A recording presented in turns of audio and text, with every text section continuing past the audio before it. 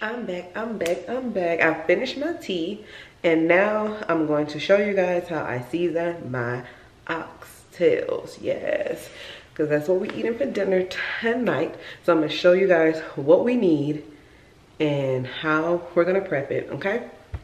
As you all can see, I have my bell peppers. Clean these before you cut them. I have a yellow onion garlic. And I have my scallions. Clean it before you cut it. My all-purpose, my all-purpose seasoning. It's a Caribbean seasoning, all-purpose. My oxtail seasoning. And I got this oxtail seasoning right here too. We're gonna finish all of this because it's almost done. So we're gonna go ahead and cut these up in three, two, one.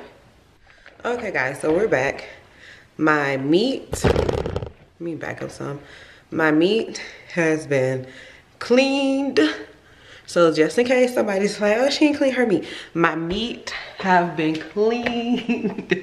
My meat have been cleaned with vinegar and water. I washed it. I went and got, you know, some of the excess fat off of here. I know you can still see some fats, but I went and got as much fat as I could off of each one. These are some big behind oxtails. So that's that. And then we have all my cut up veggies. Let me put it down. We have all my cut up um, veggies. So bell pepper, yellow bell pepper, green bell pepper, onions, scallions, and the garlic is really up under the scallions. So there we go. So let me show you guys how I season it. And again, all purpose, I do not, I do not go by tablespoons or anything like that. I just, let me, I can't even do it like that neither. I just open it, season. Season, all-purpose seasoning. And this all-purpose seasoning got salt, sugar, paprika, black pepper, garlic, onion, cumin, coriander, ginger, Jamaican pimento, celery, thyme, oregano, okay? So then we're gonna go in with our oxtail seasoning our oxtail seasoning. See, that's why I said I got the two. And I'm gonna do another one.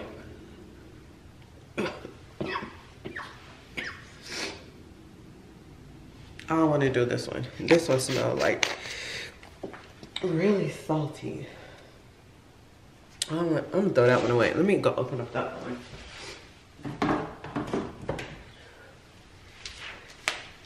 That one smelled like really salty. So I'm gonna do this one. And just season it. Like that made me cough. I don't want no seasoning that's gonna make me cough. Okay, so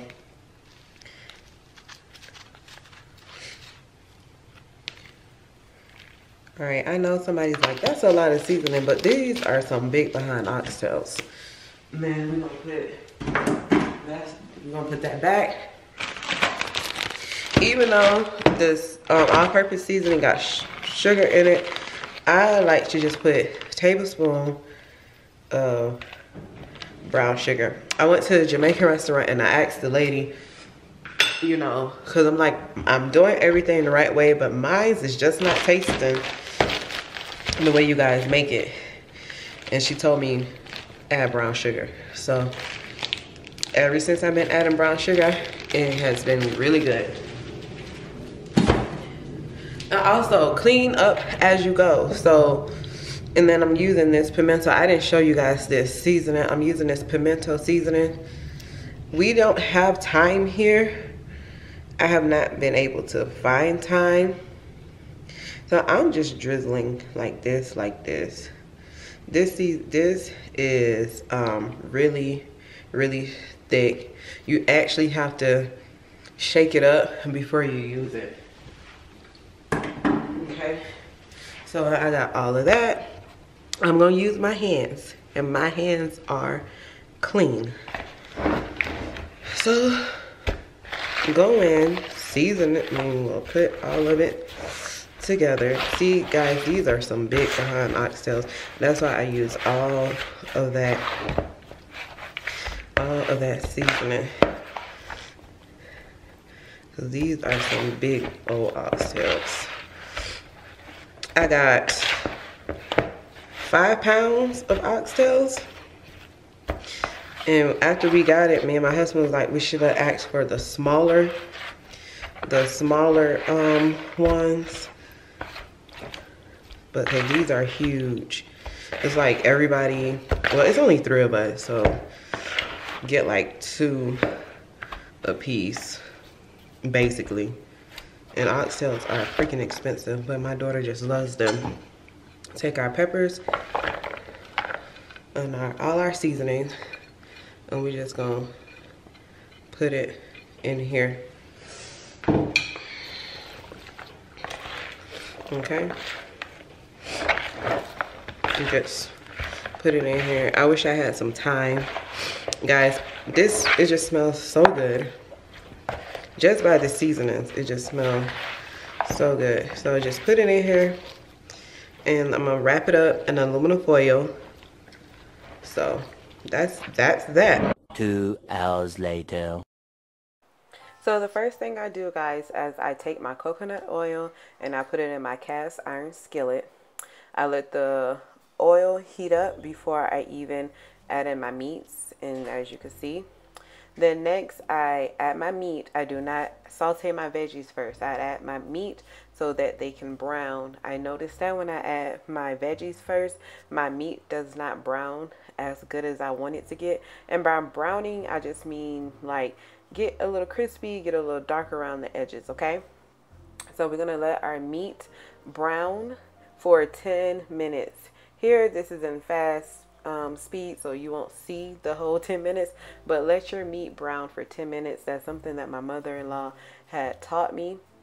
Once the meat um, is done browning you're gonna see well I'm showing you the meat okay and yeah. So once the meat is done browning you're gonna take the meat out of the pan. Yes you're gonna take the meat out of the pan and then you're gonna add in your veggies or your cut up veggies and you're going to let that saute until it gets like a translucent color. Well the onions get like a translucent color. The bell peppers are going to be kind of tender and soft.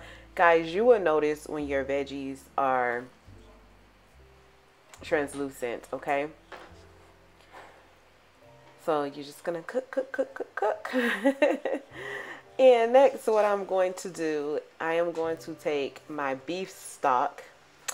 I learned this off of YouTube. Um, I was watching somebody cook oxtails too off of YouTube, uh, like way, way, way back when I was trying to learn how to do it myself. And I always use beef stock and I love it. So I am using beef stock. I am pouring it in that same bowl I had the oxtail in because I want every seasoning that I put on my oxtails to go in that pot, okay? So, pour, and then I'm going to take water from out of the faucet, from the filter, out of the faucet, and I'm also going to pour that over the oxtails. You do not want your oxtails to seem soupy because when they are soupy, there's not a lot of gravy if that it's gonna be it's gonna taste really watery. You're gonna water down the oxtail if you put too much liquid inside of it. So here it looks like I barely have enough of liquids in my oxtails but guys when it's done and when it's all said and done I do. Make sure you clean up as you go wash your hands as you go. Um, now I am adding the browning seasoning to it. You can add the browning seasoning before if you want to, but I just like to add mine in the pot because I don't care for the taste of browning that much. So I like to just add mine to the pot of liquids. I can see advice. I taste, you do not taste, okay? so as you can see, now the oxtail have they were on boil but i was like let me grab my camera so i could show them so they were boiling I put them down between one and low. I don't have a simmer on this stove, but if you have a simmer, put it on simmer. And the time, it was like one something. I showed you guys, it was like one something. I am back. The, um, let me take off these. So I am back. The oxtails are done. I remember, oh shoot, what I did. Okay, the last time I showed you guys the time, it was like one something and six something now. And here we go. I'm going to plate the food. So we have, I'm going to plate the food. I'm going to tell you how good it turns out I did not forget to pick back up the camera. I, huh? Um, I got in the bed washing clothes. Say it again? I already put it. I already did it. You put all the towels in here? Yeah. All right. Let me see, honey. So I got in the bed washing clothes so I can finish cooking. What about your, you got any towels that need to go upstairs? What about, um, I had to get that blanket, put that blanket in there too. It. Yeah, I close it. All right, so I'm gonna go ahead and plate the food and then we gonna get into it.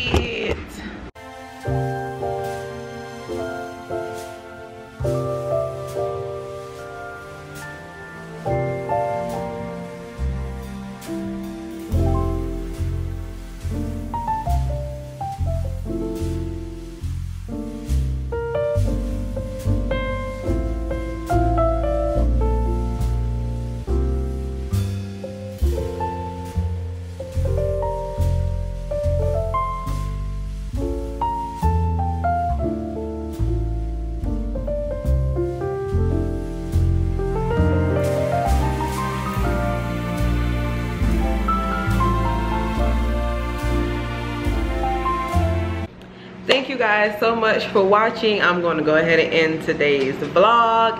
And if you like the content you love oxtails and i taught you something new let me know down in the comments below if you tried the recipe and you do like it okay? So until next time guys i'll see y'all tomorrow. Bye